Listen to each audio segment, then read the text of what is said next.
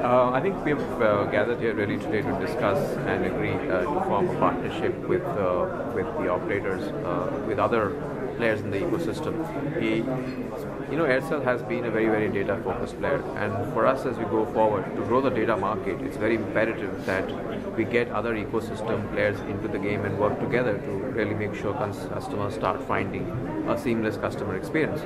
In that context, I think this partnership of tying up with a device, with a technology provider, as well as an operator, will go a long way in ensuring that we're able to deliver uh, customer experience at a reasonable price to the customer because you know uh, the price will be reasonable because technology allows it to crunch it faster uh, devices are good plans are effective and our network connectivity is there. So we think three of us coming together will ensure that the customer gets the best possible opportunity to really experience the data services uh, uh, which is really the core of growth for many telecom operators uh, in the coming years you had a similar arrangement with the Micromax last year. How was the you know impact from the you know, response from the industry? The arrangement was different. Uh, at that time, our focus was more on providing Micromax devices without the technology partner, and I think that experience has been good. We have added a large. You know, for example, in Micromax business, about uh, 20% of the devices are now coming on, the Aircel network, which was earlier much lower. So this has helped us to grow our share of the new devices which form, uh, or the new quality devices which we were uh, which we were getting earlier. So it helps us to accelerate uh, the growth of 3G devices on our network or good quality devices on network, which then translates into better customer uh, experience and higher ARPUs for us. Can you share some of your new strategies this year? I think uh, in terms of our focus, uh, we Aircel as a brand has continued to be at the two cornerstones of the brand for us. One, of course, is that we provide value for money to the customer in terms of what we do. We provide we provide everything.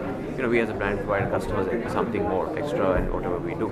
So that's been one uh, cornerstone, and we continue to build on that with either it's in our tariff plans, whether it's launch of our uh, you know a special plan for all ISD 54444, which allows you know local rate calling to five uh, international destinations like the US and UK, and which which is one big uh, initiative we did uh, in, the, in the last uh, month or so. then we've also rolled up some things called experiencing free 3G mornings that in 6 to 9 customers who are on Aircel network can experience 3G and therefore get a chance to understand how 3G works and whether that is something which they would like to do. So it's free 3G morning, 6 to 9 for many markets, parts of the world, uh, many parts of the market we've introduced. Um, so all this is fundamentally attempted to a grow the data experience at the same time, uh, uh, grow the data business at the same time, also provide value for money uh, product propositions to customers like uh, the international calling uh, operation. We also launched recently the Magic, sorry, the Happy Recharge, which is really a combination of voice and data recharges, which was earlier not the case. So really again,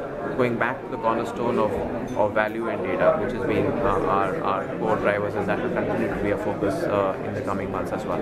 Can you share your technology focus to improve the customer experience? What do you do?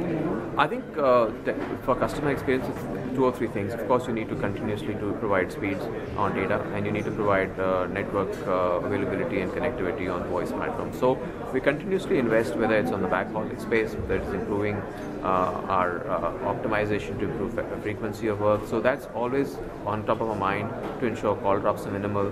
So on all those elements, we keep working on to uh, ensure customer experience uh, remains as uh, strong as ever.